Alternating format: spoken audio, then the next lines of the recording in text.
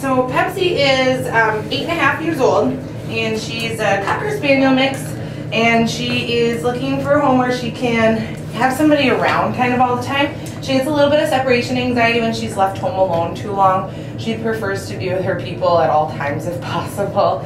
Um, very sweet. She likes to sleep in bed with her people as well if she would be allowed.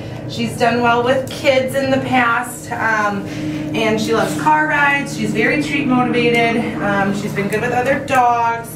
She does chase squirrels and rabbits though, um, and she will go on unsupervised adventures if she's not in a fenced yard or leashed. so um, a fenced yard would be ideal for someone who has you know plenty of time to get her on a couple walks a day. She likes to go swimming. She likes uh, water as well, and she's used to being groomed but she doesn't like the electric clippers. She prefers to have just the scissors the electric clippers scares her a little. Another is she's um, potty trained and um, all around a really nice girl.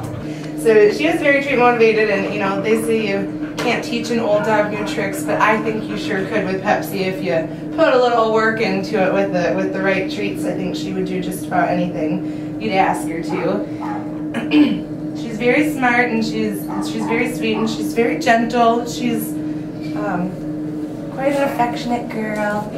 Um, actually spent um, quite a bit of time in foster care. She had a dental done, so she had a few teeth removed um, and had some cleaning done. So she was in foster care for a while.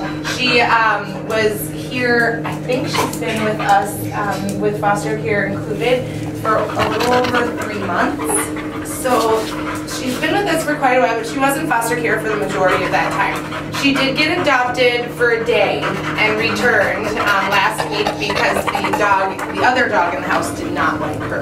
So um, that one was not living with her friend. Like I said, she's eight and a half years old, but she's got plenty of energy left. Um, she likes to go for her walk. She does enjoy playing with stuffed toys as well. Um, but she's just as eager to curl up on the couch and snuggle at the same time.